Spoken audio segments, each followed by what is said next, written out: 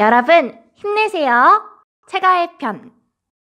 오빠야 내가 진짜 좋아하는 사람이 생겨서 혼자 끙끙 앓다가 죽어버릴 것만 같아서 얘기를 한다 눈앞에 아른아른거리는 잘생긴 얼굴 자꾸 귀 애맴도는 그의 촉촉한 목소리에